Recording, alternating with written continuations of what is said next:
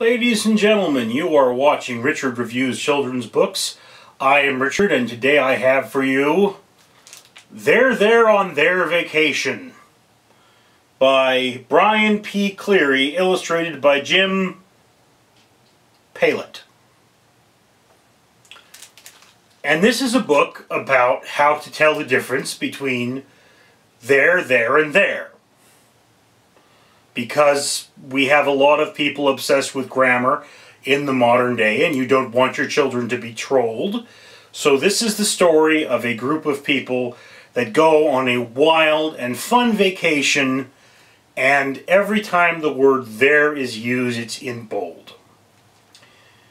Now, to be clear, this it's also a poetic use of rhymed couplets in this book. But to be clear, I am going to say that this is still very much fun first, education second. That's not a bad way to go because that way children are going to read this book over and over again. There are places where I think that just from new, uh, mnemonic standpoint, from a liminal standpoint, they could have done better. They could have used uh, brighter and different colors for the their words, therefore bringing the children closer into it. And I mean, look, these are beautiful, beautiful full color pages here. Just want you to see that. This is the family going to see the world's largest pair of underwear, which children are going to giggle at.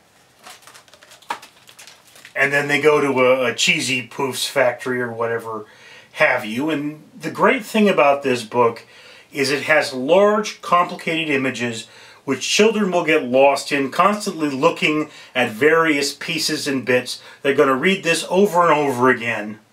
And, and that's, that's a good thing. They're, they're going to learn from that. Again, I think that if a child picked up this book, read it once or twice, may not absorb the information as well, but then over time you're going to get it ground into your head, which is there to use. So that's not a big deal. Again, I'm going to say I really enjoyed this book. I would recommend it. I read it kind of quick, quickly. I did not fully involve in it personally, but I will have to say, if I were a child, I would have eaten this thing up like it was a, a plate of chocolate chip cookies.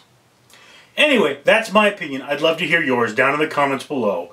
I am Richard Leland Neal.